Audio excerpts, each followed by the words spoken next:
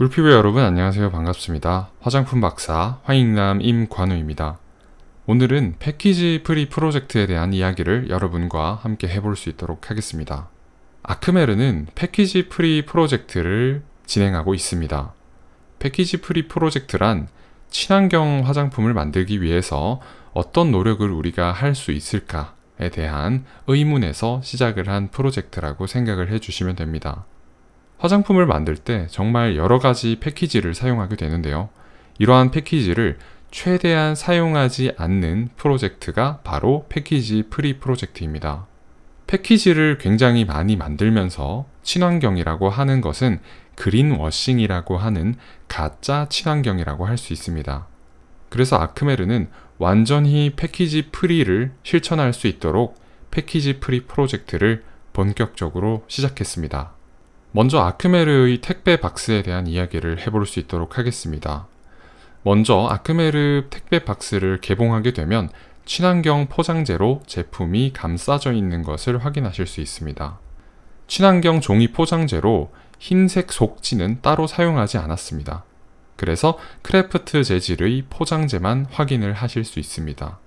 그리고 재활용이 쉽도록 택배 박스에는 인쇄를 하지 않았습니다. 온실가스를 배출하는 종이 자원은 최대한 절약하는 것이 좋다고 생각을 했기 때문에 단상자는 사용하지 않았습니다.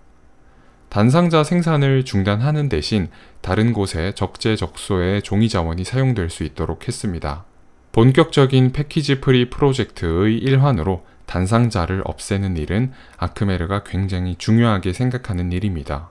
아크메르는 투명한 페트 용기를 사용했습니다. 투명한 페트 용기는 100% 재활용이 가능합니다. 그리고 투명한 페트 용기에 수분리 친환경 라벨을 적용했습니다.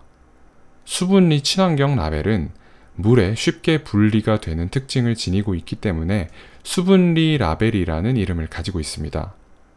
재활용 공정에서 물에 용기가 들어가는 공정이 있는데 그 공정에서 스스로 쉽게 제거되는 특징을 지니고 있습니다. 수분리 라벨은 우리가 손으로 쉽게 떼어서 제거할 수도 있기 때문에 재활용을 하실 때 미리 제거하고 배출을 해주시면 더욱더 좋을 것 같습니다. 아크메르 패키지 프리 프로젝트에 동참해주신 여러분께 진심으로 감사드립니다. 오늘도 화장품 읽어주는 남자와 함께 꿀피부 되시기 바랍니다.